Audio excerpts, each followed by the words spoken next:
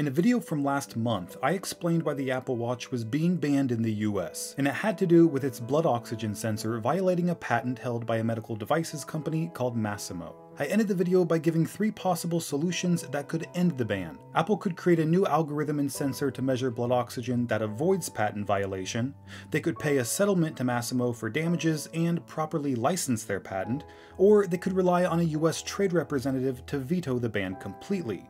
Well, in typical Apple fashion, they defied everyone's expectations and simply removed the feature altogether, which has raised some questions, like if previously sold Apple Watches will have their blood oxygen sensor disabled, or what happens when you need to repair a watch with a new sensor that Apple can no longer provide. Right now, there are more questions than answers, but there are things we know. In a court document filed yesterday, Apple revealed that they've prepared Apple Watch models that, quote, do not contain pulse oximetry functionality. But what does that mean exactly? Will they ship revised watch models without the blood oxygen sensor, or will the sensor just be disabled through software? Well, Bloomberg's Mark Gurman suggested that Apple's physically removed the blood oxygen sensor from new models, so even if the ban is eventually reversed, owners of these modified watches will be out of luck, since the capability won't exist at all, even with a software update. Thankfully, existing Apple Watch users will not be affected. Their blood oxygen sensor will remain functional and is not at risk of being disabled through software.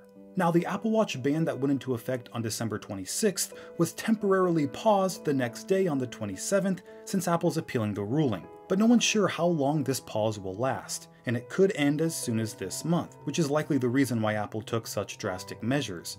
They want to resume sales of their flagship watch models as soon as possible to prevent lost revenue, even if that means temporarily removing one of its headlining features. And yes, that means blood oxygen sensing will be coming back at some point, likely when Apple figures out a workaround that sidesteps Masimo's patents. But until then, customers will likely be paying the same price for an Apple Watch that does a little less.